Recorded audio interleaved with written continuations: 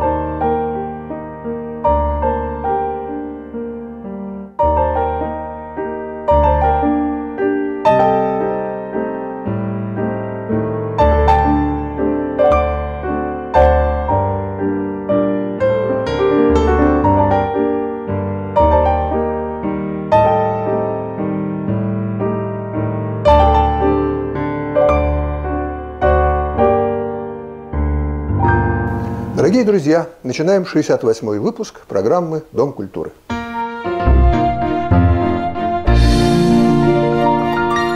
Уважаемые зрители моей программы, столь долгий перерыв в выпусках Дома культуры связан с началом военной агрессии России против Украины. Говорить о выдающихся деятелях искусства, в особенности русских, в тот момент, когда российские агрессоры с удивительной жестокостью уничтожают мирное население, грабят, насилуют, убивают, стирают с лица земли целые города, уничтожая памятники истории и культуры, говорить в этот момент о культуре и искусстве казалось мне неуместным. И даже учитывая то, что моя программа рассчитана не на сиюминутный момент, а на будущее, как любая книга по истории искусства, я просто не мог этим заниматься. У меня не было на это сил. Я и моя семья все эти дни жили жизнью Украины, ее защитников, ее жертв. Мы, как и большинство людей на этой планете, способны испытывать чувство сострадания, сочувствия, то, что называется эмпатией. А эмпатия – это то чувство, которое сделало человека из зверя. Но одно дело наблюдать и сострадать, а другое что-то делать, как-то помогать. Когда моя дочь, актриса и певица Катерина Ксенева, увидела в интернете обращение бойцов украинской добровольческой армии из так называемого пятого батальона – к людям планеты с просьбой о помощи в их борьбе с врагом, она тут же откликнулась на этот призыв и вместе с друзьями организовала сайт по сбору средств для приобретения необходимого военного оборудования и амуниции и доставки этого в Украину. А чтобы ее инициативу увидела как можно больше людей, Катя попросила меня смонтировать клип из видеоматериалов с Украины, подложив его под музыкальный лейтмотив из нашего фильма «Не думай про белых обезьян». Мы с моей женой Людмилой отобрали в интернете хроникальные и любительские кадры событий в Украине, и так появился видеоклип, посвященный Мариуполю, прекрасному украинскому городу, которого больше нет на нашей планете.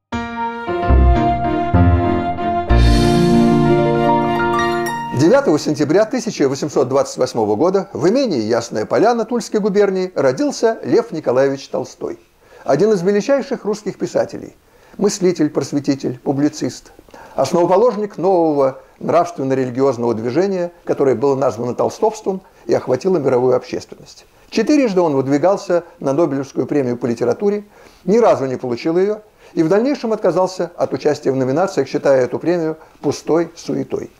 Зато за свои антиклерикальные взгляды был отлучен от церкви, о чем ни разу не сожалел, считая это своей доблестью. Нам интересен Лев Толстой не только как писатель, но и своей яркой личностью, полной противоречий и в то же время неизменно свободный во всех своих проявлениях. Имя Толстого в литературе звучит так же мощно, как имя Бетховена в музыке или Рембрандта в живописи. Все советские люди с детства были приучены к тому, что Лев Толстой – самый великий русский писатель. Мне со школьной скамьи запомнились две его характеристики. Первая – ленинская. Толстой как зеркало русской революции. Вторая – от Маяковского. Вернее, от его персонажа Победоносикова из пьесы «Баня», который, произнося пафосную речь по поводу пуска первого советского трамвая, сказал «Даже Лев Толстой – это величайшая медведица пера. Если бы ей удалось взглянуть на наши достижения в лице вышеупомянутого трамвая, даже она заявила бы перед лицом мирового империализма «не могу молчать».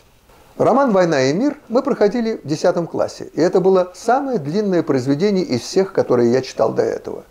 И хотя все четыре тома романа стояли у нас дома на книжной полке, я смотрел на них скорее с тоской, чем с любопытством. У меня было что почитать кроме этого. Очень интересные книги, где были откровенно любовные сцены. Заляма Пасан, Анатолий Франц. Кроме этого, мы ежемесячно выписывали журнал «Иностранная литература», «Новый мир», так что было что почитать и помимо Толстого. Но роман «Война и мир» нужно было знать в 10 классе. Так что, закончив девятый, я взял все четыре тома Толстого с собой на дачу, помимо другой, более интересной для меня литературы. Я решил пробежать роман Толстого по диагонали, чтобы знать сюжет и персонажей. И с этим чувством я открыл первый том. Начал его читать. Первые примерно 10 страниц проходили в Великосветском салоне «Мадам Шерер», где все говорили по-французски. Поскольку я изучал французский язык в школе, мне было интересно понять смысл французских фраз, не прибегая к сноскам с переводом. И так, незаметно для себя, я постепенно втянулся в мир, созданный Толстым. Погрузился в него, стал соучастником всех событий. Конечно, из тех персонажей самым близким и интересным мне был князь Андрей. Я начал ассоциировать себя с ним, переживать все перипетии его судьбы. Вместе с ним влюбился в Наташу Ростову. Вместе с ним обижался, ревновал, разочаровывался. А смерть князя Андрея стала для меня личной трагедией. Я прочитал все четыре тома от корки до корки и находился под сильным впечатлением от романа. Но понять, в чем новаторство Толстого и почему этот роман считается одним из величайших в мире, я тогда не мог. Понимание этого пришло ко мне значительно позже. И я буду об этом говорить, но только после того, как расскажу про жизнь Толстого, предшествующую написанию романа – Говорить об этом буду, конечно, фрагментарно и выборочно, потому что жизнь Толстого – это плотная череда событий, которые создавал он сам. Он постоянно менял свою жизнь, потому что пытался изменить самого себя и со страстью бросался на осуществление все новых своих проектов в самых разных областях жизни человека и страны в целом. Каждый такой проект мог бы составить смысл жизни другого деятеля и создать ему имя в истории. Но такая судьба была не для Толстого. Он был неуемен в своих поисках – желаниях и делах. О предках династии Толстых я рассказывал в прошлом 67-м выпуске Дома культуры в связи с Алексеем Константиновичем Толстым, который приходился троюрным братом Льву Николаевичу.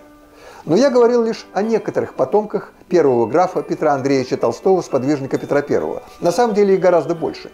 Многие из Толстых живы до сих пор и даже пользуются известностью. Я не буду о них говорить. Скажу лишь, что многие персонажи «Войны и мира» и других произведений Толстого списаны с его родственников, которые отличались яркими чертами характера. Лев Толстой был четвертым ребенком в семье. Он рано потерял своих родителей. Мать умерла от родовой горячки при рождении младшей дочери, когда Толстому было три года. Когда ему исполнилось девять, он потерял отца. Дети-сироты переселились в город Казань к сестре отца Полине Ильинишне Юшковой. Дом Юшковых считался в Казани самым веселым и свободным. Здесь все обожали светские развлечения, внешний блеск. Воспитанием Толстого занимались образованные гувернеры. Один из них был немцем, другой – французом. С детства проявились способности Толстого к музыке. Он обучался игре на рояле и в этом преуспел. Музыку он обожал. К его любимым композиторам относились Бах, Гендель, Моцарт. Ко второму ряду Шуман, Шуберт, Мендельсон, Шопен и отчасти Бетховен. Лишь отчасти. Будучи взрослым, Толстой часто играл для себя, для гостей и даже сам сочинял музыку. Один из своих вальсов он исполнил в присутствии композитора Танеева, и тот записал его в ноты. Вот как он звучит. Должен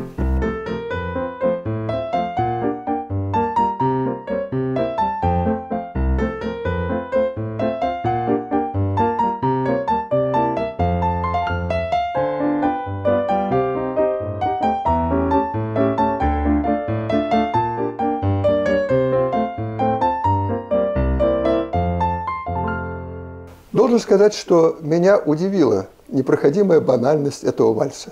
Если говорить о Толстом как о композиторе, то он был, мягко говоря, не слишком талантлив. Но он очень любил музыку и оставил нам свое знаменитое изречение. «Мир погибнет, и черт с ним, вот только музыки жалко». При всем том, он был абсолютно нетерпим к более сложной организованной музыке, чем та, которую он любил и понимал. Он абсолютно не воспринимал Вагнера – и считал всех, кто им восхищается, находящимися под влиянием своего самовнушения, подобно тем придворным из сказки Андерсона, которые заставляли себя видеть несуществующее платье голого короля. В этом проявлялся максимализм Толстого, который отрицал все, что находилось за гранью его понимания. Но вернемся ко дням его молодости. Когда Толстой стал обретать зрелость, его тетушка и опекунша Полина Ильинична Юшкова была очень озабочена вопросами его правильного полового воспитания – чтобы он, не дай бог, не подхватил дурную болезнь от какой-нибудь проститутки. «Добрая тетушка моя», – рассказывал Толстой, – «чистейшее существо всегда говорила, что она ничего не желала бы так для меня, как того, чтобы я имел связь с замужнюю женщиной». Он и сам мечтал о такой связи и мечтал блистать в обществе, но этому мешали его природная застенчивость и непривлекательная внешность. А еще больше этому мешали его постоянные умствования о важнейших вопросах бытия, таких как счастье, смерть, Бог, любовь, вечность. Это накладывало отпечаток на его сознание, на его поведение. Он казался неприступным, отпугивал от себя людей. Толстой это очень хорошо описал в книгах «Отрочество и юность», где его герой Иртеньев постоянно занимается самоусовершенствованием. Еще Толстой описал это в своем романе «Воскресенье» в поисках своего «я» юным Нехлюдовым. На самом деле это были поиски самого Льва Толстого. И они настолько интересны, насколько был интересен их автор. А автор был действительно очень интересен. Это был сложно организованный молодой человек с рефлексиями, комплексами. В то же время обладающий умом исследователя, который внимательно следил за тем, что происходило в его сознании и пытался это анализировать. Вероятно, поэтому Толстой стал первым мастером описания сложного психического процесса – человеке, который подхватили затем изобретатели так называемого потока сознания Марсель Пруст и Джеймс Джойс. В сентябре 1844 года 16-летний Толстой поступил в Казанский университет на факультет восточной словесности, показав на вступительных экзаменах отличные результаты по турецко-татарскому языку. Но, надо сказать, учился он кое-как и не смог сдать переходный экзамен на второй курс. Тогда он перешел на юридический факультет – ну и там задержался не слишком долго. Вот как он это объяснил. Я первый год ничего не делал. На второй год я стал заниматься. Там был профессор Мейер, который дал мне работу «Сравнение наказа Екатерины II с духом законов Монтескье». Меня эта работа увлекла. Я уехал в деревню, стал читать Монтескье, и это чтение открыло мне бесконечные горизонты. Я стал читать Руссо и бросил университет именно потому, что захотел заниматься. В силу неординарности своей натуры Толстой не мог заниматься по утвержденным программам. Он всю жизнь занимался самообразованием. С юности вел дневник, в котором постоянно формулировал для себя какие-то новые цели, задачи, пытался им следовать, но это получалось у него лишь отчасти. В середине октября 1848 года Толстой уехал в Москву и поселился там на Арбате, где проживали многие его родственники и знакомые. Он хотел продолжить здесь свою учебу в Московском университете, но его увлекла светская жизнь Москвы. Балы, театральные представления, концерты, а главное – карточная игра. Игроком он был не слишком везучим, но очень азартным, постоянно проигрывал.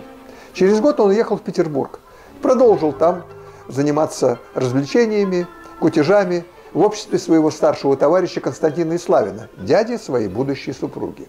Покуролесив так месяцев восемь, Толстой решил, что пора взяться за ум и решил сдавать экзамены в Петербургском университете на получение звания кандидата юридического права.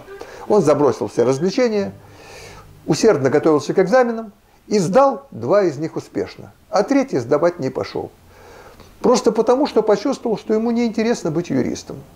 И покинув Петербург, Толстой уехал в Ясную Поляну, имение, которое досталось ему по наследству. Здесь он решил заняться писательством и начал свою первую повесть, автобиографическую повесть «Детство».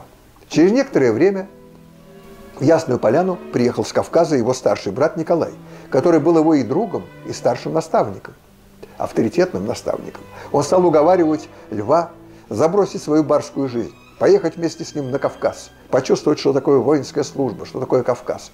Толстой поначалу отнекивался, но потом произошло неприятное событие. Он в пух и прах проигрался в московском казино. И тогда он решил переменить свою жизнь. Уехать подальше от соблазнов Москвы. И согласился ехать с братом на Кавказ. Скоропалительно вместе с ним он уехал в Пятигорск. В такой спешке и так безалаберно, что забыл в Москве необходимые документы и вынужден был полгода жить в Пятигорске в ожидании этих документов из Москвы. Занимался там лишь охотой в обществе вольного казака Епишки, который впоследствии в повести «Казаки» превратился в ерошку. Таким образом, любая ситуация в жизни Толстого, будь то работа или развлечение, всегда превращались в материал для его творчества – а встреченные им на жизненном пути люди часто превращались в героев его произведений.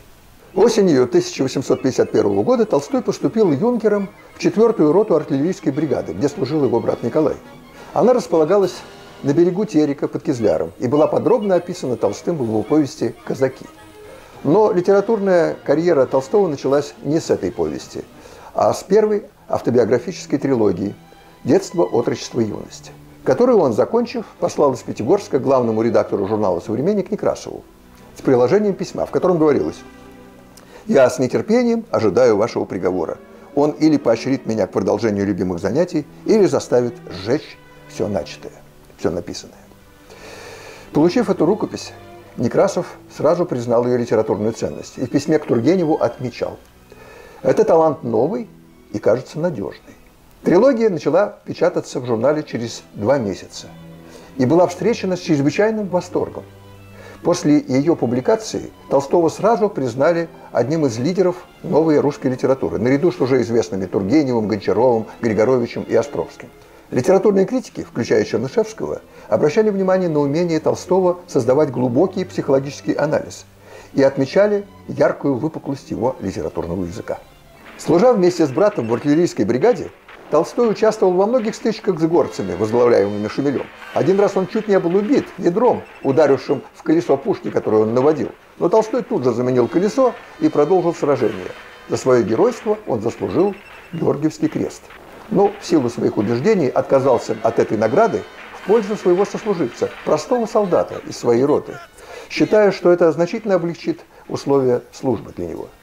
Толстой считал, что это куда важнее его личного тщеславия – Таким образом, во время службы на Кавказе проявились два ценных качества Толстого – героизм и благородство. Когда началась Крымская война, Толстой перевелся в Дунайскую армию и два года провел в военных действиях. В ходе войны он оказался в Севастополе. Командовал батареей в сражении на Черной речке, во время штурма Малахова кургана, а в перерывах между боями он начал писать севастопольские рассказы, которые мы тоже проходили в советской школе. Первый из рассказов, который назывался «Севастополь» в декабре 1854 года, Толстой отправил Некрасову в «Современник», и тот тут же его опубликовал. Рассказ был прочитан всей России произвел потрясающее впечатление на читателей картинами ужасов войны. Вот как Толстой предварял свои описания. Вы увидите ужасные, потрясающие душу зрелища. Увидите войну не в правильном, красивом и блестящем строе, с музыкой и барабанным боем, с разбивающимися знаменами и горцующими генералами, а увидите войну в настоящем выражении, в крови, в страданиях, в смерти. Одно из двух. Или война есть сумасшествие, или ежели люди делают это сумасшествие, то они совсем неразумные создания, как у нас почему-то принято думать. Как это созвучно тому, что сегодня происходит в Украине – из-за российской агрессии. А в то время рассказ был замечен новым российским императором Александром II, и тот приказал беречь даровитого офицера. За оборону Севастополя Толстой был награжден орденом Святой Анны с надписью «За храбрость», а также множеством медалей, в том числе и за севастопольские рассказы. Окруженный блеском известности, пользуясь репутацией храброго офицера, Толстой мог сделать блестящую военную карьеру. Однако он лишил себя благосклонности военного начальства тем, что сочинял сатирические куплеты, в которых высмеивал российских генералов, проигравших многие сражения из-за своей глупости и бездарности. Эти куплеты мгновенно разлетались по армейским частям, их читали вслух под общий хохот солдат. Вот один из таких куплетов. Генерал наш Ушаков, тот совсем уж без толков, приказал нам вброд идти, чтобы речку перейти. Перейти-то мы сумели, до резерва не поспели. На Федюхины высоты нас пришло всего три роты. Наше войско небольшое, а французов больше втрое. Ждали. Выйдет с гарнизона нам на выручку колонна. Подавали им сигнал, но фон Сакен, генерал, все не слал для нас подмогу. Он весь день молился Богу, и пришлось нам отступать, поминая их мать. За эти куплеты Толстому пришлось давать объяснение высокому военному начальству, которое он презирал. После этого он, недолго раздумывая, в чине поручика прервал свою военную службу и вышел в отставку. Это случилось в 1856 году. Тогда же он закончил последний из севастопольских рассказов, который назывался «Севастополь» в августе 1855 года. Послал его в «Современник», тот был тут же напечатан, и Толстой для всех без исключения стал одним из лидеров русской литературы. Петербурге молодого писателя радушно встретили в великосветских салонах и в литературных кружках. Ближе всего он сдружился с Иваном Тургеневым. Какое-то время они жили в Петербурге на одной квартире. Тургенев ввел Толстого в круг писателей журнала «Современник». Ведя активную светскую жизнь, Толстой в то же время не оставлял писательской работы. И в этот период им были написаны «Метель», «Два гусара», «Юность», продолжена работа над повестью «Казаки». Так прошел год жизни в Петербурге, и Толстой стал чувствовать, что столичная жизнь ему надоела. У него начались конфликты с коллегами-писателями. Он перестал посещать их вечера, литературные собрания. В своем дневнике он писал «Люди мне опротивили, и я сам себе опротивил». И в начале 1857 года он без всякого сожаления покинул Петербург и отправился в свое первое заграничное путешествие по Европе. Было ему 29 лет. В ходе своего путешествия Толстой посетил Париж, где был возмущен культом Наполеона I. «Обоготворение злодея ужасно», – писал он в своем дневнике. Через 10 с лишним лет он дал оценку этому военному преступнику в романе «Война и мир». В Париже он постоянно виделся с Тургеневым. Вместе с ним посещал балы, музеи, театры. Толстого восхищали французы своим чувством социальной свободы. Но когда ему пришлось присутствовать на гильотинировании, смертной казни с отрубанием головы при помощи гильотины, этот боевой офицер, который не раз видел смерть в бою, был настолько потрясен этим цивилизованным варварством, что тут же покинул Париж и уехал в Швейцарию, на Женевское озеро, в места, связанные с жизнью и деятельностью глубоко чтимого им Жанна Жака Руссо, о котором я рассказывал в 47-м выпуске «Дома культуры». Любопытна оценка, которую дал Толстому Тургенев – парижские годы их совместного пребывания там. Действительно, Париж вовсе не приходится в лад его духовному строю. Странный он человек. Я таких не встречал и не совсем понимаю. Смесь поэта, кальвиниста, фанатика, барича. Что-то напоминающее Руссо, но честнее Руссо. Высоконравственное и в то же время несимпатическое существо. Возвратившись в Россию, Толстой поселился в Ясной Поляне, но постоянно наведывался в Петербург. Вопреки совету Тургенева заниматься исключительно литературной деятельностью, Толстой имел множество планов в социальной, экологической области. Он осаждал министерство предложением засадить всю Россию лесами, чтобы осушить ее болотистость. Предлагал сделать обязательным всеобщее народное образование, открыть школы для крепостных крестьян. В этот период у него возникает ряд увлечений женщинами, на которых он хотел жениться, но потом раздумал. А в Ясной Поляне у него возникает прочная любовная связь с крепостной крестьянкой Аксиньей Базыкиной, которая родила от него детей. Надо сказать, что Толстой вообще предпочитал крепостных крестьянок, образованным светским женщинам, о чем писал в своем дневнике. Ему было 32 года, когда он решил прервать свои отношения с литературными кругами Санкт-Петербурга. Этому предшествовала его ссора с Тургеневым, которая произошла в доме у поэта Афанасия Фета. Ссора была настолько серьезной, что едва не закончилась дуэлью бывших друзей. И они после этого расстались на долгие 17 лет, не виделись ни разу. Литературные критики тоже отвернулись от Толстого. До этого его превозносили, а тут перестали о нем вообще писать. О нем стали забывать читатели на целые 10-12 лет, вплоть до появления романа «Война и мир». Но об этом романе я буду говорить чуть позже, а пока расскажу о жизни Толстого в кочевье, башкирском кочевье Каралык. В мае 1862 года Лев Николаевич, которому было тогда 34 года, и он страдал депрессией, по рекомендации врачей отправился в Самарскую губернию поправлять свое здоровье при помощи модного тогда лечения кумысов. Однако, узнав, что в Кумысы-лечебницу собираются приехать представители светского общества, которое он теперь терпеть не мог, Толстой покинул Самару и уехал в далекое башкирское кочевье за 130 верст. Там он поселился в башкирской юрте на реке Каралык. Ел баранину, принимал столничные ванны, пил чай, кумыс, играл с башкирами в шашки и так описал свои впечатления от своей жизни. Тоска и равнодушие прошли, чувствуя себя приходящим в скифское состояние, и все интересно и ново. Ново и интересно многое, и башкиры, от которых Геродотом веет, и русские мужики, и деревни, особенно прелестные по простоте и доброте народа. Очарованный Королыком, Толстой приобрел там имение и иногда проводил там лето с семьей. В одной из таких поездок он устроил для башкиров скачки на лошадях на 50 верст, а также силовые соревнования, в которых принимал сам участие. Здесь он открыл конный завод, собираясь вывести более быструю и выносливую породу лошадей для кавалерии России. Он собирался скрестить здесь английских рысаков и степных кобыл. Я не знаю, что у него получилось. Во всяком случае, этот конный завод приносил семье Толстых одни убытки.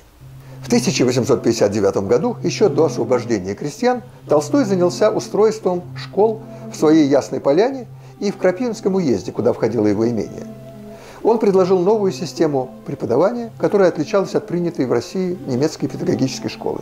В школе Толстого не было разделения на дисциплины. Преподавание велось свободно. Любой ученик мог задать интересующий его вопрос, преподаватель подхватывал его, расширял, обобщал, привлекая различные сферы человеческой деятельности.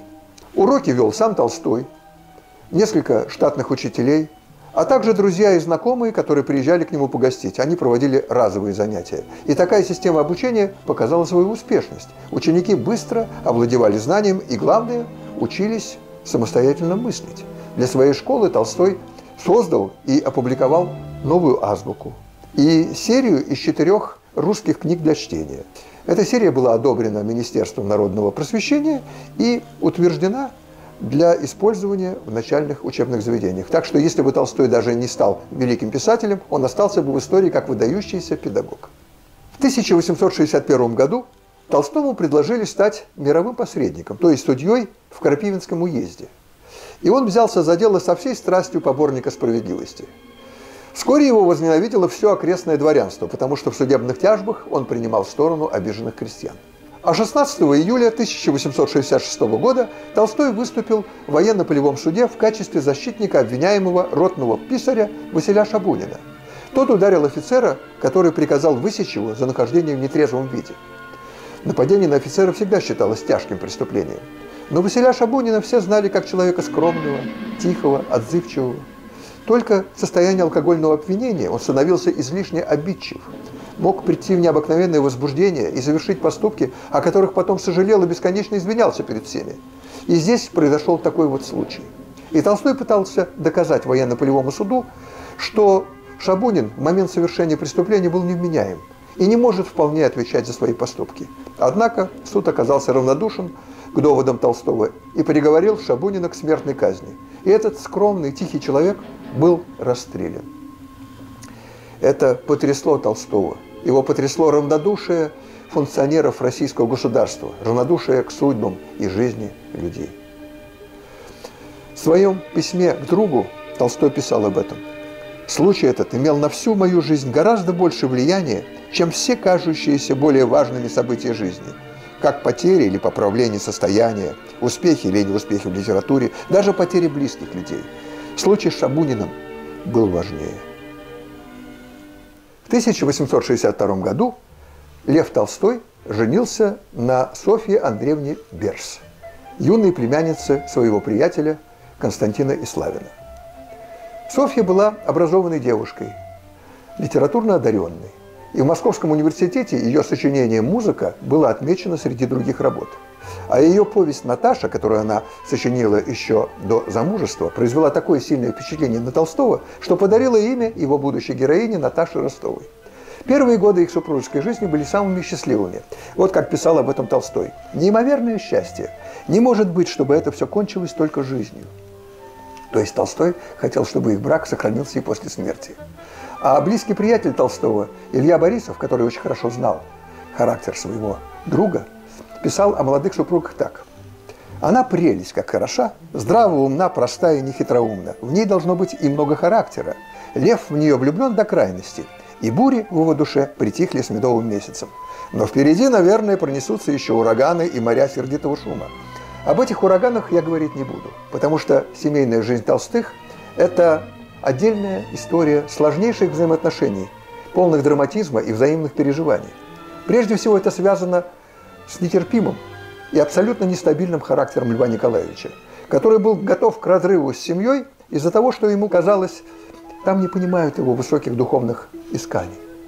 С другой стороны, были героические устремления Софьи Андреевны во что бы то ни стало сохранить супружескую жизнь, их состояние и обеспечить детей – тем, кто интересуется семейной жизнью Толстых, я рекомендую почитать дневники Толстого, где он подробно комментирует свои отношения с женой. Или воспоминания Софьи Андреевны «Моя жизнь». Это две разные точки зрения на их брак. Две правды. И если бы я снимал фильм о супружеской жизни Толстых, то постарался бы представить их обе. Как поступил французский режиссер Клод Лелюш, когда снимал свою картину «Супружеская жизнь». В первые 12 лет своей супружеской жизни Толстой сочинил «Войну и мир» и Анну Каренину. Два произведения, которые стали главными в его писательском наследии.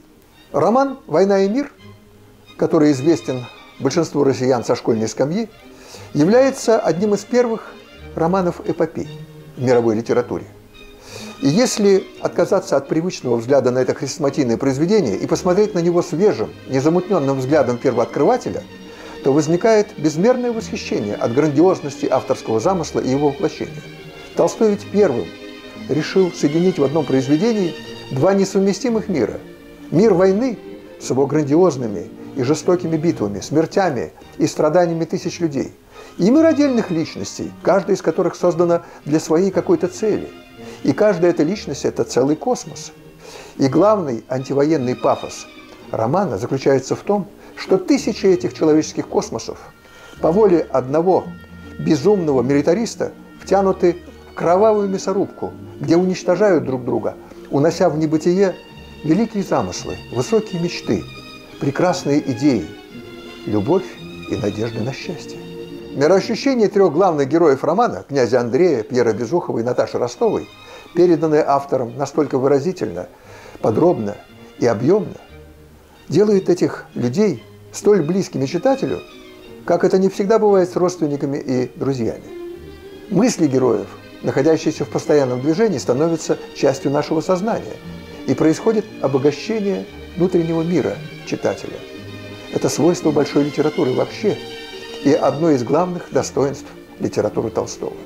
А в отдельные моменты это духовное обогащение достигает наивысшей точки. Например, в момент внутреннего монолога князя Андрея, который раненый лежит на поле боя под Аустерлицем и видит над собой огромное и вечное небо, впервые в жизни почувствовав себя частью этого необъятного мира. Эпическая мощь романа Толстого вдохновила последующих литераторов на создание подобных эпопей, где частная жизнь героев сталкивается с мировыми катаклизмами – Существует даже женский вариант «Войны и мира». Я имею в виду роман американской писательницы Маргарет Митчелл «Унесенные ветром». Там такая же сюжетная конструкция, как и у Толстого. Герои пытаются строить свою жизнь в соответствии со своими страстями и представлениями о счастье и оказываются втянутыми в жестокую мясорубку гражданской войны.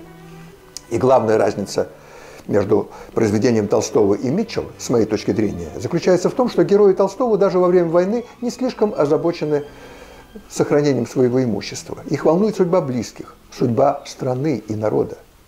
В то время как для главной героини «Унесенных ветром» Скарлетт О'Хара доминирующей целью, помимо многих прочих, является сохранение своего родового имения Тара. Когда я был помоложе и поглупее, я считал это преимуществом героев Толстого, их высокие искания, в сравнении с ограниченным мирком персонажей Маргарет Митчелл с их меркантильными интересами. Я воспитывался в советской школе, в презрении к частной собственности и вещизму, который казался проявлением мещанства. И поэтому заботы персонажей Маргарет Митчелл казались ограниченными, мелкобуржуазными. Но когда я в годы перестройки приобрел на истоке Волги деревянный бревенчатый дом дореволюционной постройки и стал ездить в него каждое лето на отдых, то полюбил его всем сердцем. А окрестные места с лесами, озерами и речками стали дороги моему сердцу, как вторая родина. Первый я считал Ленинград, Петербург. И тогда я в лучшей степени стал понимать, что такое любовь к родине. Это не гордость за ее необъятные просторы, за ее военную мощь и помпезную столицу. Это любовь к родному очагу. Такая любовь гораздо скромнее, конкретнее и человечнее, чем пафосные призывы к патриотизму, которые мы часто слышим из уст представителей власти. И теперь я гораздо лучше понимаю чувства и заботы Скарлетт О'Хара и не пытаюсь противопоставить их высоким исканиям героев Толстого. Но должен при этом заметить, что именно высокие искания героев Толстого поднимают нас над нашей обыденной жизнью, возвышают наши чувства и представления о смысле жизни. Я готовлю этот выпуск в страшные весенние дни 2022 года, когда Путин напал на Украину, разрушая города, убивая мирных жителей и столь же безразличных ему солдат России. Этот безумец, оказавшийся во главе российского государства и окруживший себя бандой подлецов, также пытается вершить судьбами людей и народов, как ненавистный Толстому Наполеон Бонапарт. Один из персонажей романа Пьер Безухов был охвачен идеей спасти мир и думал, что именно на него возложена эта миссия.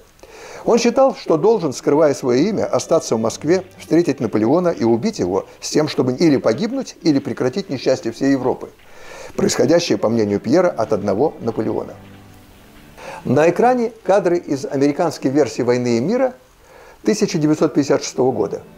Пьера Безухова там играет Генри Фонда. Он совсем не похож на Пьера в описании Толстого, но он кинозвезда, и зрители любили на него смотреть. По версии американских кинематографистов, Пьер увидел Наполеона на улицах Москвы, что отличается от событий романа, и сумел подготовить на него засаду.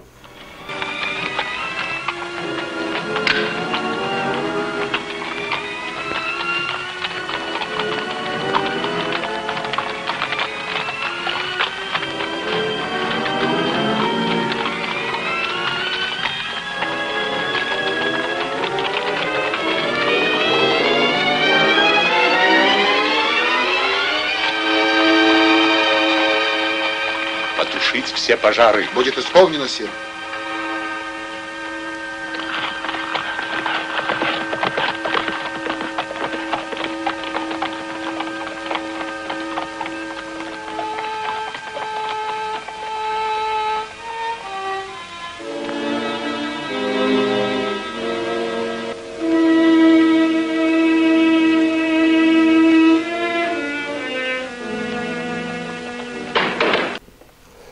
Американской версии Пьер был очень близок к осуществлению своего замысла, потому что Наполеон оказался в зоне прицела его пистолета. Но Пьер не смог выстрелить, потому что был гуманистом. Так про него решили американские кинематографисты. По моему мнению, их версия гораздо более эффектна для кино, чем толстовская. Однако менее правдоподобна, поэтому Толстой и не довел Пьера до прямого покушения на Наполеона. Когда Пьер утром выходил из своего московского дома с намерением осуществить свой замысел, он вдруг обнаружил, что пистолет его не заряжен. Он забыл его зарядить. Но как будто главная цель Пьера состояла не в том, чтобы исполнить задуманное дело, а в том, чтобы показать самому себе, что не отрекается от своего намерения и делает все для исполнения его, Пьер поспешно взял купленный им в Сухаревой башне вместе с пистолетом тупой зазубренный кинжал в зеленых ножнах и спрятал его под жилет. Ему не удалось увидеть Наполеона на улицах Москвы. Вместо этого он ввязался в драку с мародерами, был схвачен французским патрулем и чудом избежал расстрела. Если говорить о Наполеоне, то он принес человечеству столько смертей и страданий, что вполне заслуживал смерти. Но при всем том нужно признать, что это был мужественный человек, который во время боя стоял под пулями, своим примером вдохновляя воинов. Он ходил без охраны и презирал смерть. Поэтому осуществить покушение на него было вполне возможно. Теперь представим себе, что Пьер Безухов живет в наши дни. Хотел бы он убить Путина как военного преступника, как виновника смерти тысяч и страданий миллионов людей? Конечно, он бы мечтал об этом. Но осуществить покушение на Путина невозможно. Этот маньяк из бункера окружил себя многотысячной Росгвардией и целой армией чеченских головорезов, потому что страшно боится за свою жизнь. И при этом готов уничтожить все человечество в ядерном пожаре. Такого жуткого персонажа Толстой даже представить себе не мог. А теперь возвратимся в 1868 год.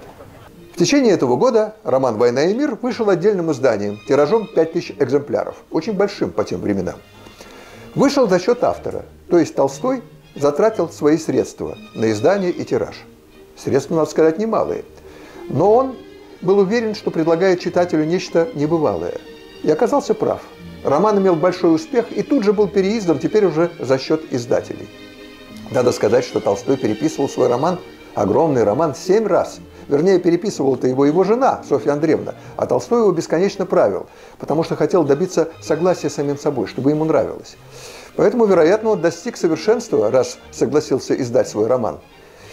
И вскоре после этого он пишет Афанасию Фету. «Как я счастлив, что писать дребедени многословные вроде войны я больше никогда не стану. Этот цинизм автора поражает, ведь он вложил столько сил, столько души в свое детище. Если не понимать, что Толстой был натура двойственная, в нем жили две, по крайней мере, две самостоятельные личности, которые находились в постоянном конфликте, спорили друг с другом, подобно доктору Джекилу и мистеру Хайду. Через 35 лет, в 1906 году, Толстой, отвечая на вопросы корреспондента, какие его произведения ему нравятся больше всего, сказал «Роман «Война и мир». А через два года написал в своем дневнике «Люди любят меня за такие пустяки, как «Война и мир», которые кажутся им очень важными». Сам Толстой считал в это время, что главными его произведениями являются последние рассказы и повести, посвященные проблемам религии и морали. Так что к высказываниям Толстого надо относиться осторожно. Он часто менял свое мнение. Теперь перейдем к разговору об Анне Карениной. Это второй роман, который считается наиболее значительным в творчестве Толстого. Не побоюсь сказать, что это самый знаменитый роман о трагической любви женщины, который прославил ее на весь мир. С институтских времен я помню, что причиной возникновения замысла послужила реальная история. Одна известная в свете супруга уважаемого государственного чиновника, мать его ребенка, закрутила страстный любовный роман с молодым офицером на глазах у всего общества, вызвав всеобщее возмущение своим безнравственным поведением. Толстого, который был одновременно правдоискателем, моралистом и ханжой, то есть позволял себе то, что осуждал других, возмутила эта женщина тем, что попрала долг жены и матери ради сексуальных удовольствий. Он видел в этом проявление испорченности, порочности – и он решил дать бой светскому обществу, которое ненавидел, осудив его лицемерие и безнравственность на примере своей героини и ее окружения. Но в том-то и заключается гениальность Толстого как писателя – что, поставив перед собой рациональную задачу осудить свою героиню, он настолько погружается в ее характер, натуру, личность, что начинает чувствовать трагедию этой женщины, которая была отдана замуж совсем молоденькой, по воле родителей, за человека много старше себя, уравновешенного и скучного, с характером школьного надзирателя, который ее постоянно поучает и избегает проявления чувств. И всю свою любовь она отдает своему малолетнему сыну. А отношение к мужу у нее привычка, как в большинстве семей – эта женщина с прекрасным лицом и телом словно создана для любви. Но будучи замужем за сухарем, она вынуждена постепенно увидать, так и не познав счастья взаимной любви, страсти, любовного наслаждения. Толстой чувствует это и понимает трагедию женщины, которая так и не испытала в жизни любви. На пути Анны возникает Вронский, молодой офицер, красавец, супермен, который воспылал к ней страстью. И Анна, пройдя через мучительную борьбу с собой, отдается своей любви со всей силой нерастраченного чувства, предрев общественное мнение и последствия своей измены. В результате получилось, что Толстой вместо того, чтобы осудить грешницу, оправдал ее, сделав героиней на десятилетия и, возможно, даже на века. Сочиняя роман про Анну Каренину, Толстой мог бы сказать «Анна Каренина – это я». В этом-то и заключается формула большого искусства, когда автор вынужден менять запланированную сюжетную схему, подчиняясь внутреннему чувству правды и своей интуиции. В этой ситуации автор как бы проживает жизнь своего героя, погружаясь в нее как большой актер. Это свойственно всем большим писателям, среди которых Толстой – фигура первой величины. Я не буду рассказывать о религиозных исканиях Толстого. Скажу лишь, что многие его книги не были изданы в России по цензурным ограничениям, связанным именно с церковными запретами. Толстой считал, что церковь и вера в Бога – это враждебные друг другу категории. В своем романе «Воскресенье», который был издан в 1899 году, он подверг резкой критике церковные обряды. Вот один из таких пассажей. «И никому из присутствующих, начиная со священника и смотрителя и кончая Масловой, не приходило в голову, что тот самый Иисус, имя которого со свистом такое бесчисленное число раз повторял священник, всякими странными словами восхваляя его, Иисус запретил именно все то, что делалось здесь. Запретил бессмысленное волхование священников над хлебом и вином. Запретил молитвы в храмах, сказав, что пришел разрушить их, и что молиться надо не в храмах, а в уединении, в духе и истине. Главное же, запретил всякое насилие над людьми, сказав, что он пришел выпустить плененных на свободу. Этот пассаж настолько возмутил церковников, что стал одной из причин отлучения Толстого от православной церкви священным синодом в 1901 году. Толстому ушел восьмой десяток, когда он создал еще два шедевра – повесть «Хаджи Мурат» и драму «Живой труп». Что касается повести, то она основана на личном опыте Толстого, полученном им еще за 50 лет до этого, когда он служил на Кавказе и ему еще не было 30. Однако яркость, сочность персонажей, будто только что подсмотренная взглядом молодого Толстого, сохранила свою свежесть и в соединении с мастерством опытного писателя создала шедевр, на котором можно учиться писательскому делу. Что касается драмы «Живой труп», то я полюбил ее с детства, благодаря фильму с участием Николая Симонова, который играл главную роль Феди Протасова. Идея пьесы, герой которой решил избавиться от постылой ему жизни благопристойного обывателя путем мнимого самоубийства основана на реальном судебном разбирательстве, которое стало известно Толстому. На берегу реки находят одежду Феди Протасова и прощальное письмо жене. Через некоторое время из реки вылавливают труп утопленника, в котором Лиза Протасова признает своего мужа. Она становится вдовой и выходит замуж за друга семьи, который давно ее любит. Проходит год. И по доносу одного мерзавца становится известно, что Федя Протасов жив. И тотчас же жадные до сенсации репортеры и грязномыслящие слуги закона решают устроить скандальный процесс, чтобы обвинить Лизу Протасову в сговоре с мужем ради сожительства с другом семьи и признать их новый брак незаконным. Чтобы разрешить эту ситуацию, для Феди Протасова остается лишь один выход – покончить с собой, но теперь уже реально совершить самоубийство – он и совершает его прямо в зале суда. Мой институтский товарищ Виктор Михайлов, который затем снимался в нескольких моих фильмах, боготворил Николая Симонова, а фильм «Живой труп» смотрел 10 или 20 раз. Когда мы учились на втором курсе, он попросил меня порепетировать с ним монолог Феди Протасова, обращенный к судебному следователю. Когда мы репетировали, он вовсю подражал Николаю Симонову, всем его интонациям, которые выучил наизусть. А я хочу показать как этот монолог исполняет сам Николай Симонов.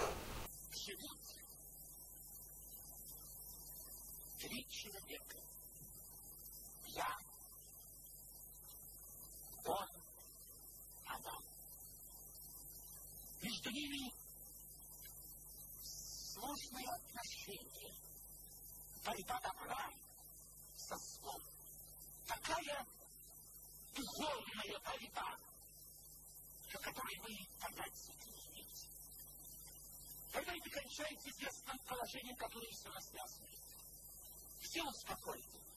Они счастливы, любят память обо мне.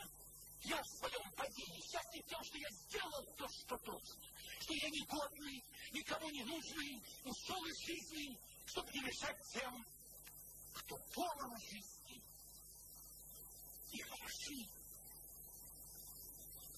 Что мы живем? Что теряется негодяй, все та жизнь, которая требует от меня участия в шантаже, я прогоняю его, он идет к вам. А прошу за правосудие, власти, нравственности. И вы, получая 20 числа, по двуприному заплакать, надеваете мундир и с легким духом куражитесь над ними. Не людьми, которых вы месяца-то не стоите, которые вас к себе и не пустят, но вы добрались, я вас выведу, не боюсь я никого, потому что я Должен сказать, что сегодня этот симоновский монолог является примером того, как не надо играть актеру. И свидетельствует о той степени деградации, которой к началу 50-х годов пришло наше театральное искусство. Искусство актера и режиссера, а вместе с ним и вкусы советского зрителя. Ведь народу нравились такие спектакли и такая игра. И нам с Витей Михайловым тоже нравились. И мне пришлось пройти немалый путь воспитания своего вкуса, чтобы понять, что такое правда на сцене и на экране, и как ее добиваться. А Николая Симонова я не перестал любить после этого, потому что роль Петра Первого в довоенном фильме режиссера Владимира Петрова, который он сыграл, является вершиной театрального искусства. Но вернемся к Толстому. В 29 и 35 выпусках Дома культуры я рассказывал об отношениях Толстого к Шекспиру и Вагнеру. По отношению к этим авторам он имел совершенно независимое от общепринятого мнения. С ним можно не соглашаться, он не во всем прав – но там есть и много справедливых замечаний, не лишенных остроумия. Я рекомендую познакомиться с его высказываниями об искусстве, их легко найти в интернете. Лично я получил от его статей большое удовольствие и много смеялся над саркастическими рассуждениями Толстого. Последние годы в семье Толстых проходили во взаимных упреках, подозрениях и обидах. Толстой никак не реагировал на материальные трудности, которые испытывала семья, и все дела завалил на плечи Софьи Андреевны. А она украдкой рылась в его дневниках, пытаясь найти злобные намерения мужа. Последняя их и роковая ссора произошла в ночь с 27 на 28 октября 1910 года. А утром Толстой собрал свои вещи и покинул дом, покинул Ясную Поляну, оставив жене прощальное письмо. «Не думай, что я уехал, потому что не люблю тебя. Я люблю тебя и жалею от всей души, но не могу поступить иначе, чем поступаю. По рассказам домашних, Софья Андреевна, прочтя это письмо, побежала топиться. Ее еле вытащили из пруда. За этим последним путешествием Толстого, после его ухода из Ясной Поляны, следила вся страна. Ежедневно в прессе печатались новости о его перемещениях, которые закончились на станции Остапова, где Толстой слег с воспалением легких в домике станционного смотрителя. Узнав об этом, семья тут же приехала в Остапово, но Толстой не хотел никого видеть. Последняя встреча с женой произошла буквально перед его смертью. Смерть наступила 7 ноября 1910 года. После смерти мужа на Софью Андреевну обрушилась новая лавина трудностей.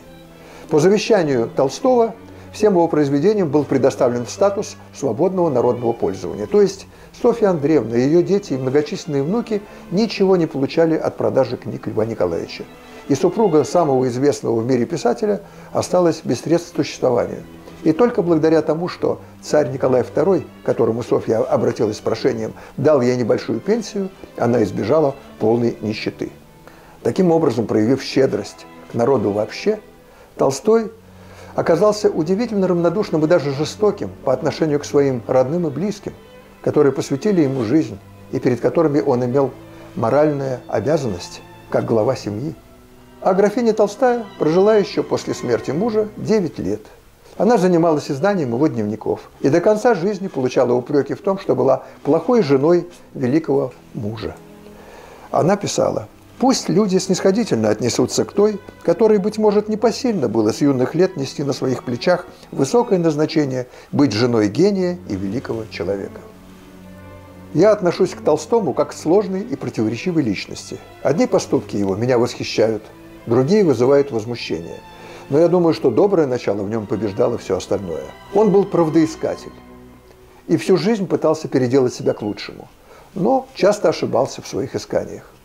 Безусловно, он был литературный гений, и его писательская интуиция была умнее его меняющихся теорий. Я думаю, что его романы, рассказы и повести человечнее и справедливее самого автора.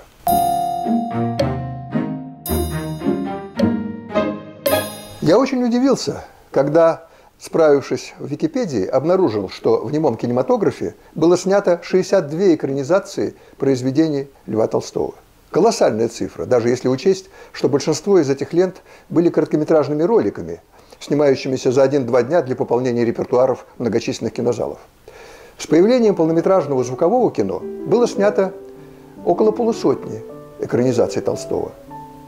Большинство из них не поднимаются выше среднего уровня, но есть и художественные открытия и в режиссуре, и в актерском исполнении. Я хочу остановиться на экранизации тех знаковых двух романов, о которых говорил выше. «Война и мир» и «Анна Каренина». Начну с Карениной. Всего было снято 31 экранизация Карениной. Из них 8 в немом кино и 23 в звуковом. Все они разные по художественному уровню, но все представляют собой парад самых ярких кинозвезд. Потому что роль Анны Карениной считается вершиной драматического искусства, в которой можно продемонстрировать все свои актерские женские качества – от проявления материнской любви до умения царить в обществе. От любовной страсти до сильных драматических переживаний и их вершины самоубийства. А кроме того, эта роль позволяет продемонстрировать свою женскую привлекательность, что для женщины-актрисы является едва ли не самым важным. Начнем с Греты Гарбо, считающейся одной из величайших актрис всех времен. Она обладала неординарной внешностью. Высокая, с крупными чертами лица и иногда казалась ослепительной красавицей а в другие моменты просто интересной женщиной. Но неизменно влекла к себе своей властной харизмой. Любопытно, что она единственная из актрис, которая сыграла Анну Каренину в кино дважды. В первый раз в немой полнометражной ленте «Любовь», когда ей было 22 года, в 1927 году, режиссер Эдмунд Гулдинг. Вот кадры из этого фильма –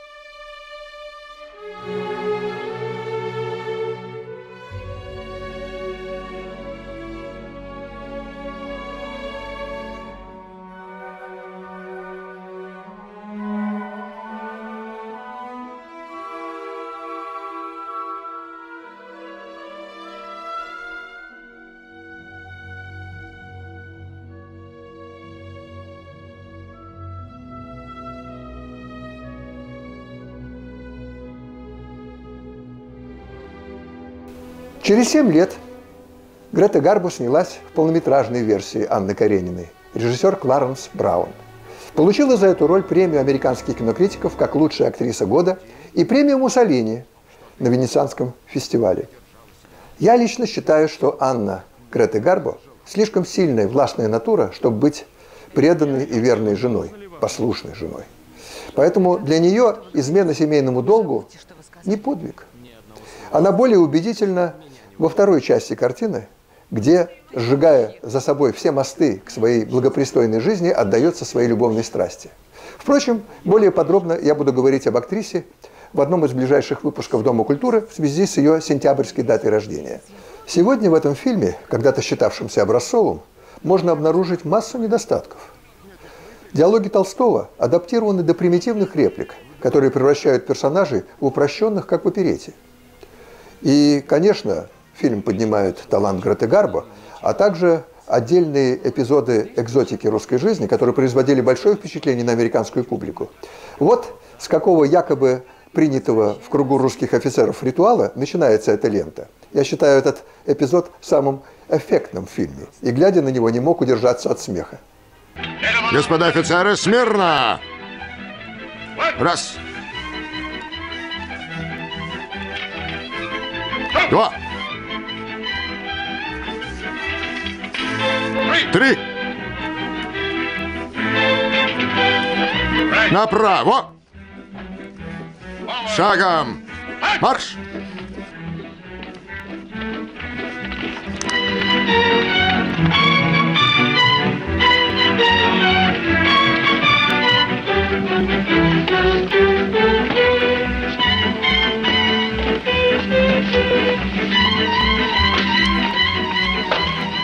Раз. Два.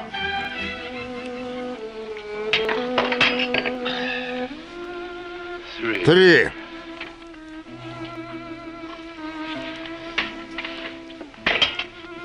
Направо.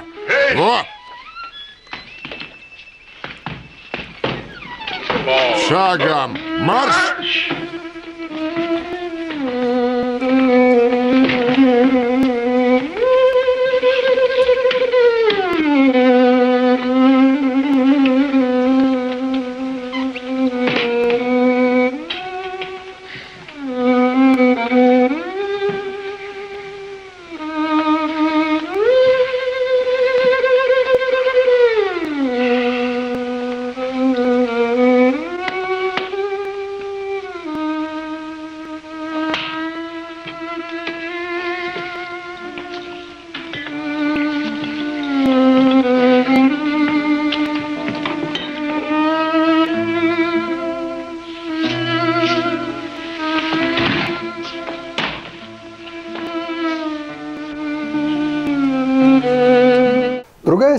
Театра и кино Вивьен Ли, прославившаяся своей оскароносной ролью Скарлетт О'Хара в великом фильме 1939 года «Унесенные ветром», сыграла Анну Каренину в английской экранизации 1948 года, режиссер Жюльен Дювивье.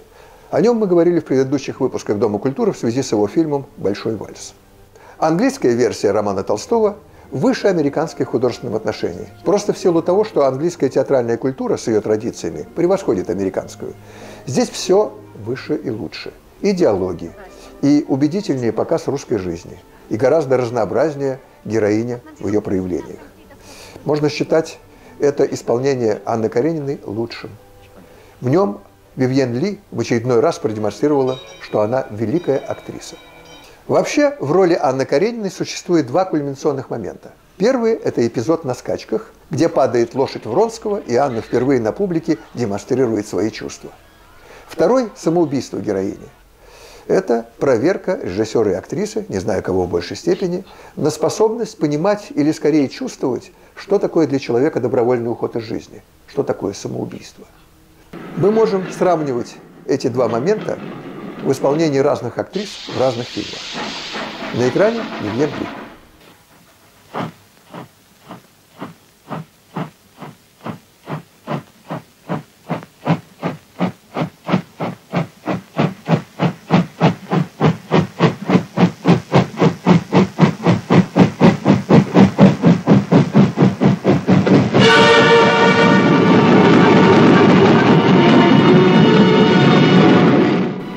Американский фильм с Гретой Гарбо, ни английский с Вивьен Ли не шли в советском прокате. И советские зрители впервые увидели Анну Каренину в отечественном фильме-спектакле Московского художественного театра, снятом на пленку в 1953 году.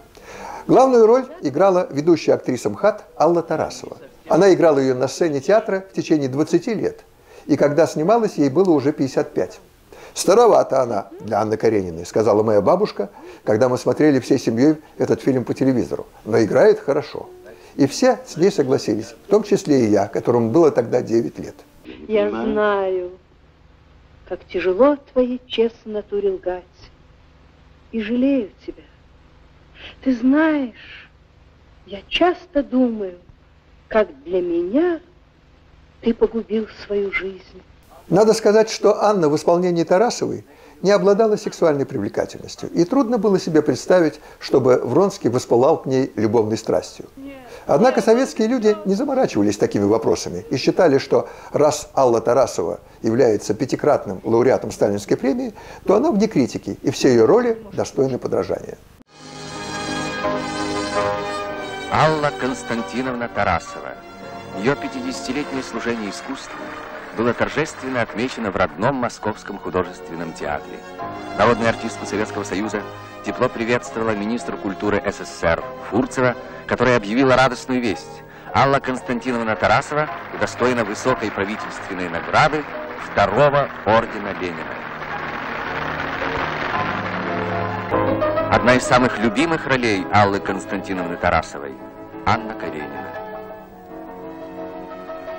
50-летие сценической деятельности Алла Константиновна Тарасова встретила в расцвете своего актерского таланта.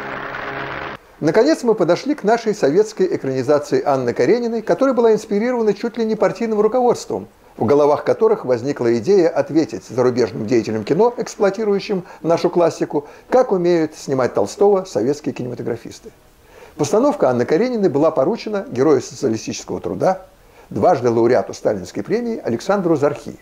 До войны он снял два знаменитых в стране фильма «Депутат Балтики» с Николаем Черкасовым в роли профессора Полежаева и член правительства с Верой Морецкой, которая сыграла крестьянку, ставшую членом Верховного Совета. После войны среди прочих картин он снял популярную в стране ленту «Высота» с Инной Макаровой и Николаем Рыбниковым песенку из которой распевала вся страна. Не кочегары мы, не плотники, но сожалений горьких нет.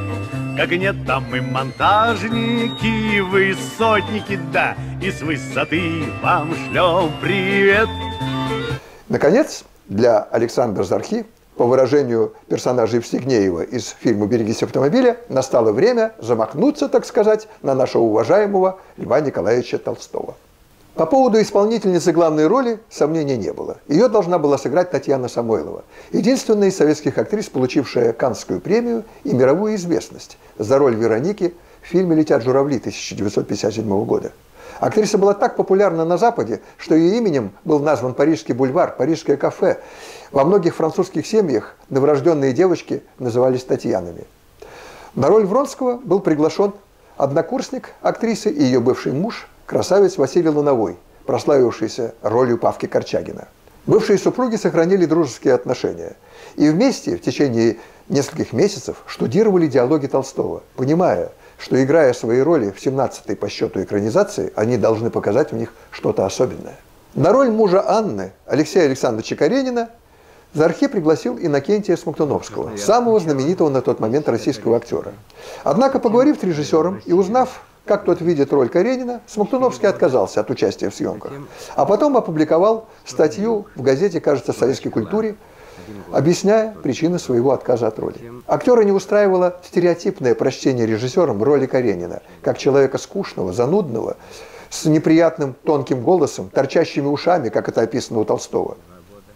Смоктуновский, будучи человеком неординарно мыслящим, не хотел играть банальность, школьные стереотипы – он хотел оправдать своего героя, как человека глубоко переживающего измену жены, но во что бы то ни стало, стремящегося сохранить семью, сохранить мать для своего сына, готового примириться с изменой Анны и проявляющего при этом большое самообладание. Однако Зархи был человеком стереотипно мыслящим и хотел сделать своего Каренина неприятным типом.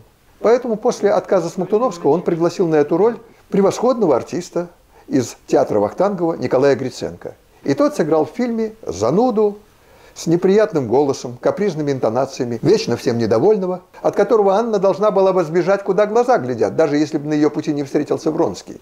Но таких людей немало, мы их встречаем часто, и поэтому Гриценко в этой роли оказался весьма убедителен. Предлагаю посмотреть эпизод на скачках.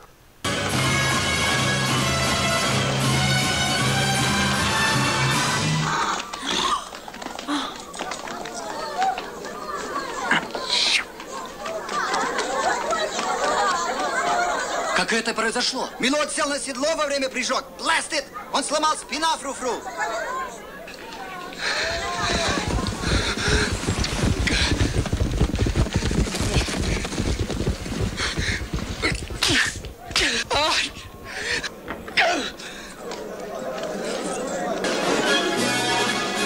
Я в третий раз предлагаю вам свою руку. Нет, я увезла Анну, и я обещаюсь ее отвезти. Извините меня, княгиня, но я вижу, что Анна не совсем здорова. И я желаю, чтобы она ехала со мной.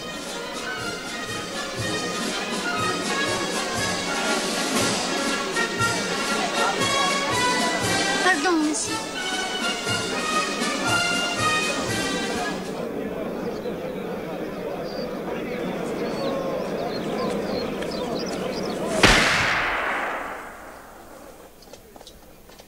Как, однако, мы все склонны к этим жестоким зрелищам. Я замечаю, Что? Я не понимаю. я должен вам сказать,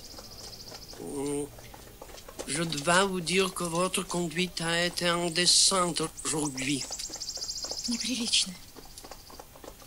Чем неприлично я вела себя? Что? Что вы нашли неприличным? То отчаяние, которое вы не сумели скрыть при падении одного из ездаков. Может быть, я ошибаюсь? En ce cas, veuillez m'excuser.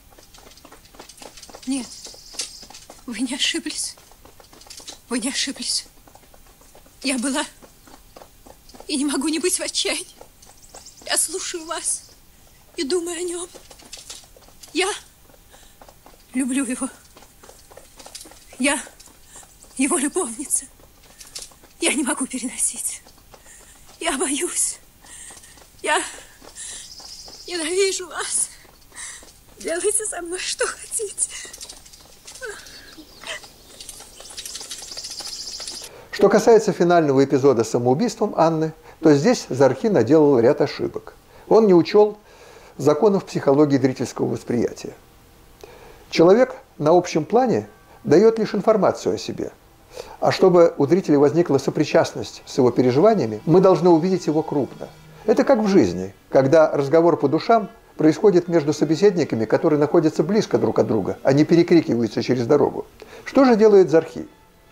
Он придумал очень общий план, в котором совместил огромный черный, медленно идущий по рельсам паровоз и маленькую фигурку Анны в белом, которая движется параллельно ему по перрону.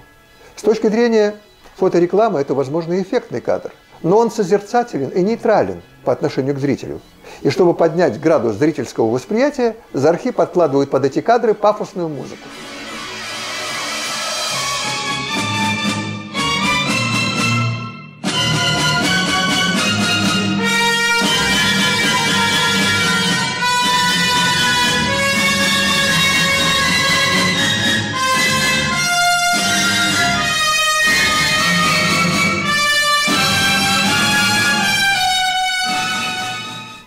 Когда в музыке буря, а в кадре вялость, для меня это свидетельство режиссерской слабости.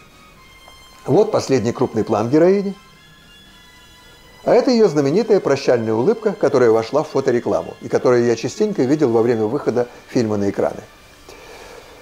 Я считаю, что решение режиссером Зархи последнего эпизода самоубийством Анны рационально и умозрительно.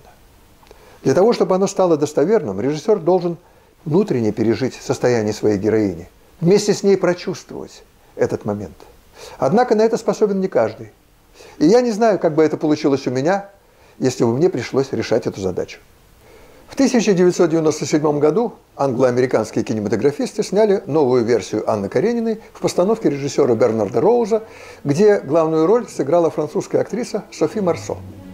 Интересно, что этот фильм снимался в России, в российской обстановке – и в некоторых эпизодических ролях снимались российские актеры. Что касается Софи Марсо, то, с моей точки зрения, она удивительно подходит на роль замужней красавицы. Поначалу целомудренной и неискушенной в любви, а затем страстной и неутомимой в ласках. В фильме много откровенных постельных сцен, чего, конечно, не было у Толстого, но, конечно, подразумевалось. Возвращаемся к показу двух знаковых эпизодов. Анна на скачках.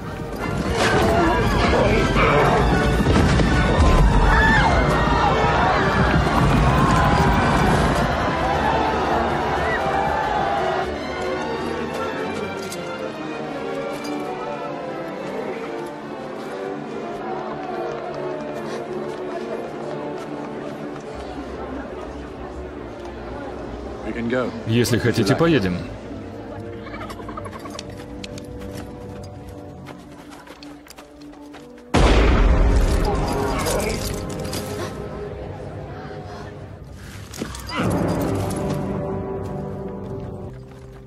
Вынужден сказать, что ваше поведение...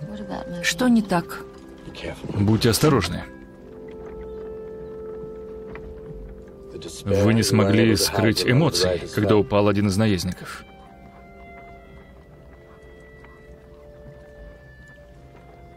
Возможно, я ошибаюсь. В таком случае прошу меня извинить. Я слушаю вас, а думаю о нем.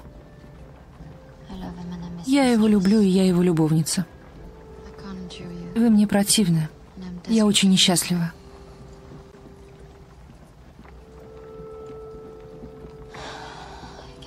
Теперь делайте со мной что хотите. Как видим, сцена на скачках решается во всех фильмах примерно одинаково. Что касается эпизода самоубийства, то каждый режиссер пытается решить ее по-своему. В данном фильме из Анны Карениной перед смертью решили сделать икону святой мученицы. И не забыли при этом подробность из романа Толстого, когда Анна перед падением на рельсы вдруг вспоминает, как девочкой она прыгала с берега в воду.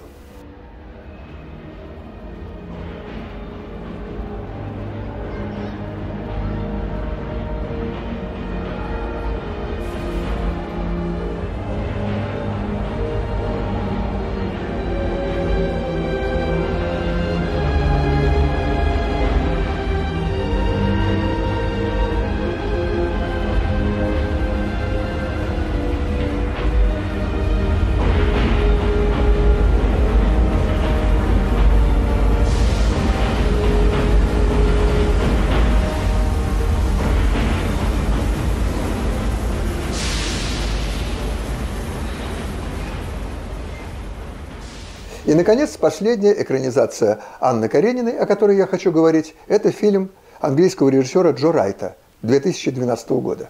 И хотя после него был снят фильм Сергея Соловьева с Татьяной Друбич и 2-3 телевизионных сериала, я считаю, что фильм Райта – это последняя значительная экранизация Толстого.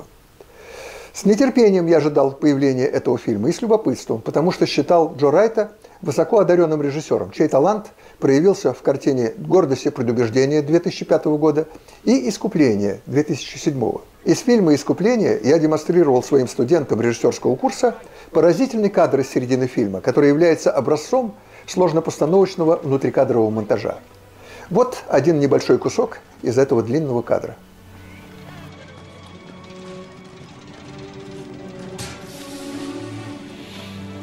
Внутрикадровый монтаж – это пример создания одного сложного кадра, при съемке которого камера, не выключаясь, совершает сложное непрерывное движение, постоянно открывая для зрителя новых персонажей, новые виды и ракурсы, снимая последовательно мелкие эпизоды один за другим, что в комплексе представляет собой целую развернутую сцену. При обычных съемках такая сцена состоит из множества отдельно снятых и склеенных кадров. Внутрикадровый монтаж – является самым сложным в организационном отношении форматом съемки и демонстрирует высокий класс режиссерского мастерства. Поэтому этот длиннейший кадр, который вы видите на своих экранах, является проявлением симбиоза режиссерской фантазии и сложнейшей организационной и технической работы. Он сразу обратил на себя мое внимание. Я проникся огромным уважением к его автору и тут же запомнил имя режиссера – Джо Райт. Понятно, что новая работа Джо Райта вызывала у меня повышенный интерес – с этим чувством я стал смотреть картину, но вскоре был сильно разочарован ею. Дело в том, что Джо Райт превратил свой кинорассказ в монтаж аттракционов, как это сделано в нелюбимом мною фильме «Мулен Руш» с Николь Кидман. Действие книги режиссер перенес на театральную сцену, а зал населил персонажами романа, превратив реалистическую, достоверную историю Толстого в условное театральное шоу. Я уже презирал Джо Райта как неглубокого человека, который потакает вкусом самых невзыскательных зрителей. И готов был выключить просмотр. Но фильм дошел до эпизода скачек. И мне стало любопытно, как режиссер справится с этим эпизодом в условиях театра. Вот этот эпизод.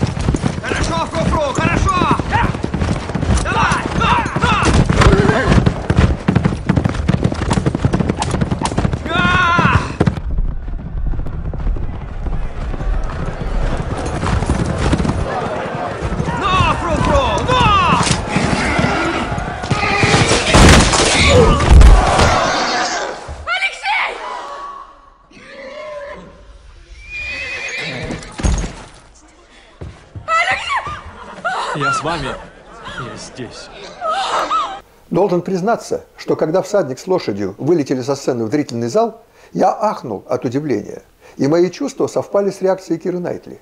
Это было то редкое воздействие кино, когда мгновенно погружаешься в экран с целой гаммой чувств.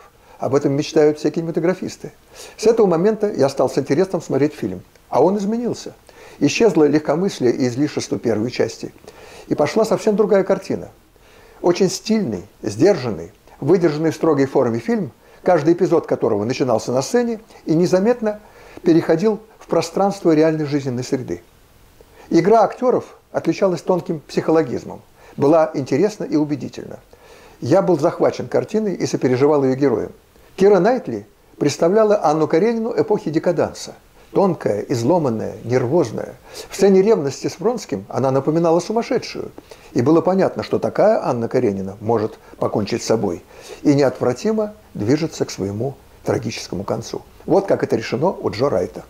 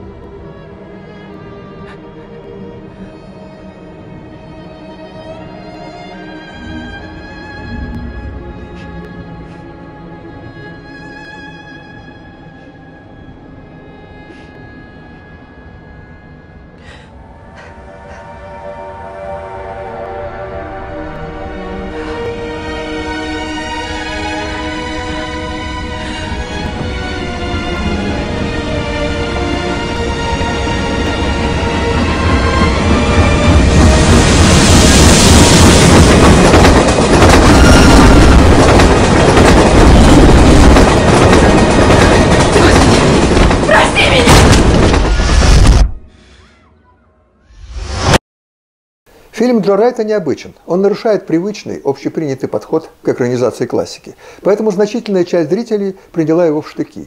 Зритель всегда консервативен. Он отвергает новаторские идеи и формы. Но, являясь сам создателем зрелища, я должен сказать, что режиссеру неинтересно делать общепринятое, банальное, стереотипное. Это лишает его уважения к самому себе, лишает желания. А без любви никогда не удается сделать что-нибудь стоящее. Теперь перейдем к экранизациям романа «Война и мир». Их всего пять, из них три телесериала. Но поскольку телесериал – это та особая форма экранного зрелища, которая продиктована в основном коммерческими интересами и требует от кинематографиста прежде всего ремесла, иногда высокого ремесла, но для художественных поисков там времени не остается, мы будем говорить о двух полноэкранных картинах – американской и советской. Итак, первая экранизация «Войны и мира» была снята в Голливуде американским режиссером Кингом Видером с целым букетом мировых звезд. Картина в двух полнометражных сериях была приобретена для советского проката, и я смотрел ее 12-летним школьником три раза. Дело в том, что моя тетя работала билетером в кинотеатре «Сатурн» недалеко от нашего дома. И мы с моим другом-одноклассником смотрели там все подряд, иногда по два раза – ну, а «Войну и мир» я смотрел трижды, потому что там играла Одри Хэбберн, в которой я был влюблен после картины «Римские каникулы». Мне вообще нравились американские актеры в ролях толстовских персонажей. Нравилась нарядная картинка кадра, выгодно отличающаяся от наших цветных фильмов. Фильмы были пышные, балы, впечатляющие батальные сцены, захватывающий сюжет. И картина произвела на меня сильное впечатление. Когда через пять лет, переходя в 10 класс, я прочитал роман Толстого на даче, то был удивлен, что персонажи Толстого не похожи внешне на персонажей фильма. Князь Андрей, например, у Толстого невысокий, красивый брюнет. А в фильме Мел Феррер – высокий блондин. Пьер Безухов у Толстого – толстяк с необыкновенной физической силой. А в фильме его играет Генри Фонда – худой и сутулый. И лишь одна Одри Хепберн, с моей точки зрения, полностью совпадала с образом Наташи Ростовой. И никого другого, кроме нее, я не мог представить себе. Когда несколько лет назад я пересмотрел этот американский фильм, и с высоты своего собственного кинематографического опыта смог обнаружить и слабости, и просчеты этой картины, я все равно пришел к выводу, что это очень крепкая и добротная экранизация Толстого. А вы можете полюбить? Вот глупости, я ни о ком не думаю. Я влюблюсь и забуду сейчас. Но если я когда-нибудь выйду замуж, тогда все кончено. Я стану похожа на разбитого полководца, который сложил оружие и сразу сдался в плен. Вы еще очень молоды. Я только и слышу, вы еще очень молоды. Когда же будут считать меня взрослой? Вы будете ужинать у нас? Нет, я сегодня приглашен на именины. Да? Кому? Моей кузине, княжне Елен. О, я бы хотела походить на нее, когда стану старше. Только бы располнеть немного. Ой, если бы я могла быть такой же высокой и красивой, гордой, неприступной и величественной. Я просил ее руки, Наташа. Ну, тише, сейчас. Кто же сложит оружие? Вы или она?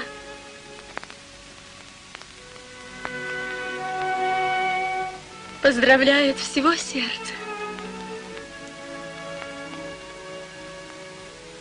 Как я хотела бы видеть вас счастливым.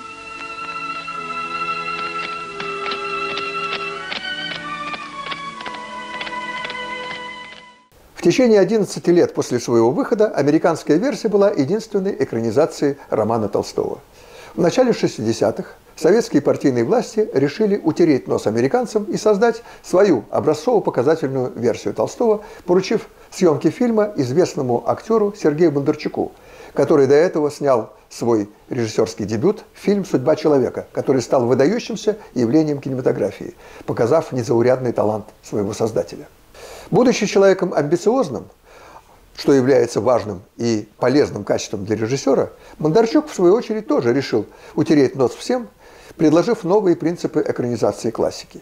Если американцы, адаптируя длинный толстовский роман для своей экранизации, сосредоточились на любовной линии взаимоотношений князь Андрей, Наташа, Пьер Безухов, то Бондарчук решил снять весь роман, включая почти все эпизоды, и даже авторский закадровый текст, которым очень дорожу. Я был студентом театрального института, когда на экраны вышли четыре серии фильма Бондарчука. Первая серия показалась мне очень скучной. Вторая и третья – поинтереснее. Четвертая вновь утомила. И когда я, делясь впечатлениями от фильма, сказал, что Бондарчук снял очень дорогостоящую хрестоматию по литературе для 10 класса средней школы, мои товарищи по институту нашли это остроумным и справедливым. Значительно позже, уже став кинорежиссером и преподавателем режиссуры, я пересмотрел четыре серии Бондарчука в формате видео и нашел, что в телевизионном варианте он смотрится значительно лучше, потому что там нет единой композиции. Фильм состоит из отдельных самостоятельных эпизодов. Его просмотр напоминает посещение картинной галереи, когда ты идешь от полотна к полотну, поочередно рассматривая внимательно картины, до тех пор, пока не утомишься и не захочешь покинуть музей. С высоты своего режиссерского опыта я смог оценить достоинство картины Бондарчука, а их там немало. Во всем чувствуется поиск оригинального решения. В кадре, в движении камеры, в организации массовки, в поведении актеров. То есть Бондарчук предложил новый киноязык в экранизации классики. Помимо достоинств фильма, я видел и его недостатки, включая решение Бондарчука самому сыграть роль Пьера Безухова – Поскольку Сергей Федорович был более чем вдвое старше своего толстовского героя, то в роли Пьера он производит впечатление персонажа с некоторой умственной отсталостью. По общему мнению, самой большой удачей фильма стала роль Наташи Ростовой в исполнении юной балерины Людмилы Савельевой. Она мила, органична, непосредственно и способна влюблять в себя зрителя. Не случайно в нее без памяти влюбился актер Александр Сбруев, который после фильма стал ее мужем. По общему мнению, она идеальное воплощение Наташи Ростовой, и даже Толстой якобы согласился бы с этим. Вот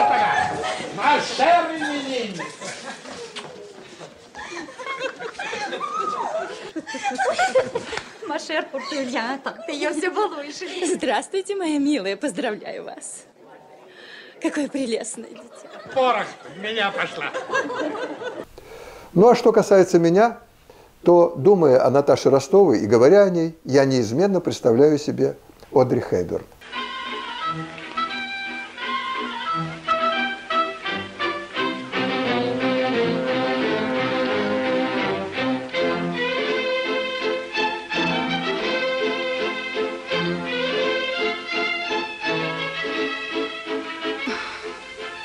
Неужели так никто не подойдет ко мне?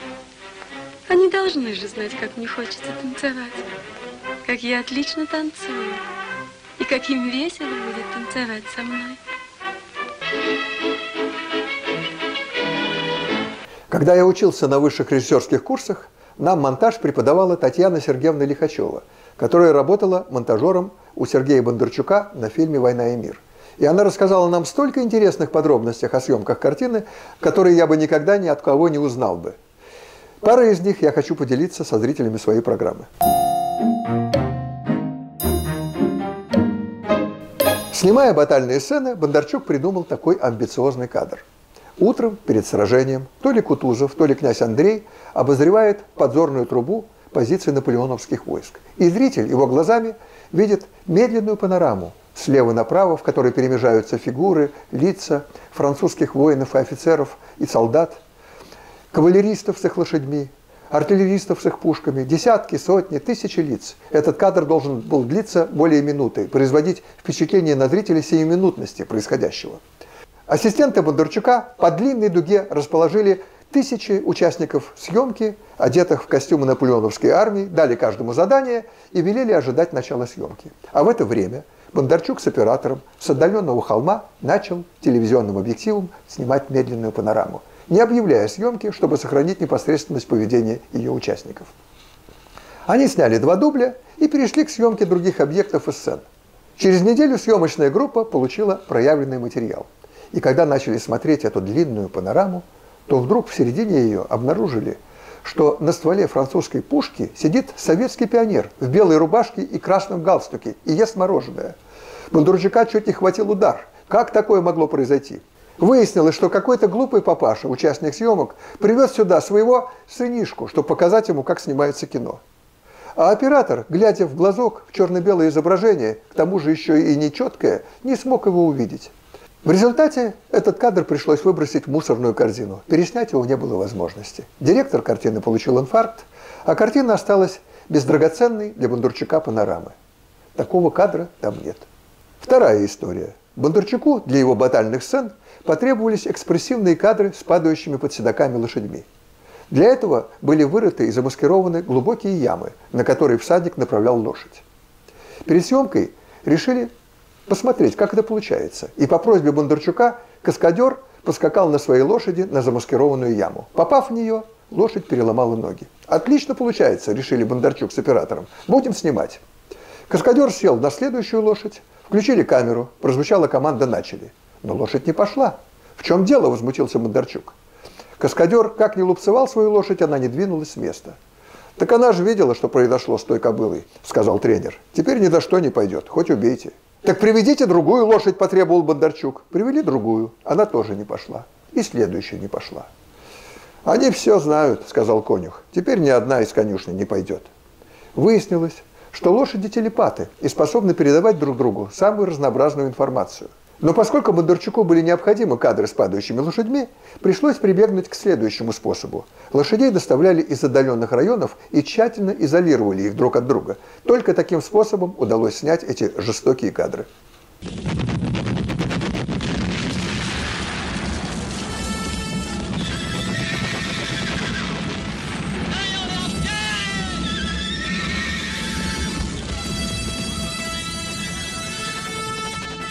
Я не был лично знаком с Сергеем Бондарчуком, но от своих друзей и коллег слышал много нелестного о нем. О том, что это был человек жестокий, ярый антисемит. При этом я не могу не признать новаторство Бондарчука в режиссуре таких фильмов, как «Судьба человека», «Война и мир». Что касается батальных сцен из «Войны и мира», то они уникальны. Никто до Бондарчука так не снимал, а после него нельзя снимать по-прежнему. Вот как о них высказался режиссер первой экранизации американского фильма «Война и мир» Кинг Видер. Бородинское сражение лучше показать невозможно. Глубокое понимание битвы, прекрасные массовки, волнующее зрелище. Согласен с ним, это действительно поразительное зрелище.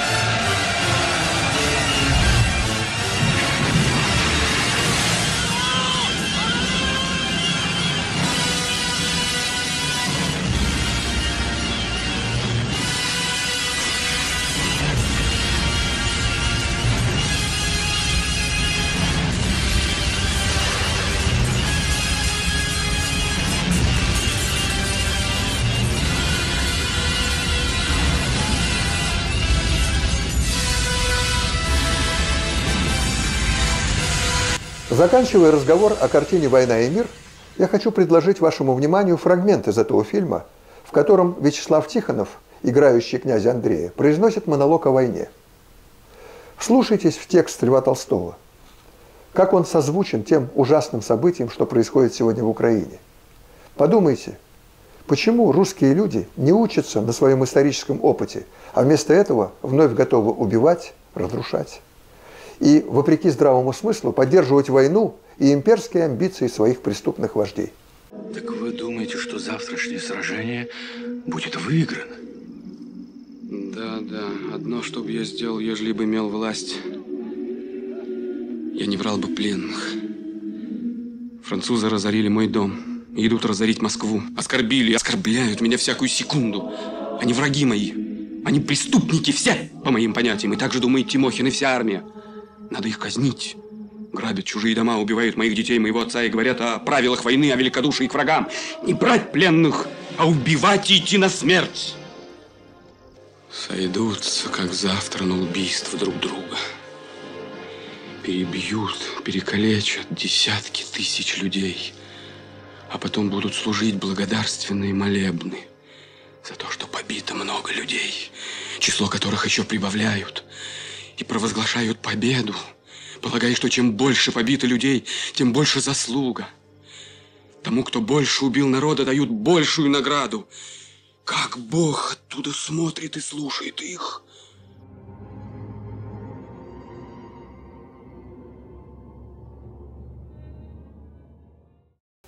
Прежде чем завершить 68-й выпуск Дома культуры, я хочу поблагодарить тех, кто оказал поддержку нашему каналу, и обратиться к тем, кто собирается это сделать.